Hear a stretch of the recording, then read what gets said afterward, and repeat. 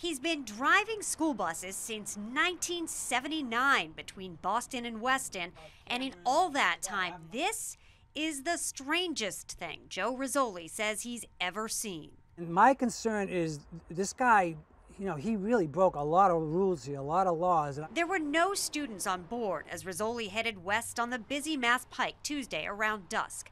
Vehicles whizzing by. A swerving car came to a full stop in the middle of the Mass Pike, he stops and he, get, he gets out of his car and he's like, you know, like, I want to talk to you.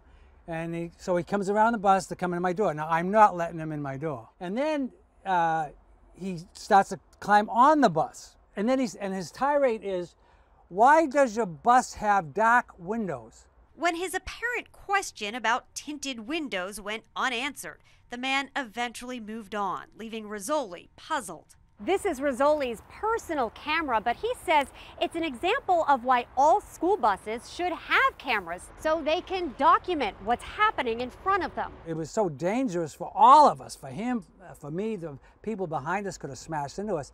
You know, he just, he, he needs to be confronted. And Turns out his trusty dash cam did help police track down the man, a 42 year old from Dorchester. But why? Neither the dashcam nor the police have been able to get to the bottom of that. I just think he needs help. In Weston, Christina Hager, WBZ News.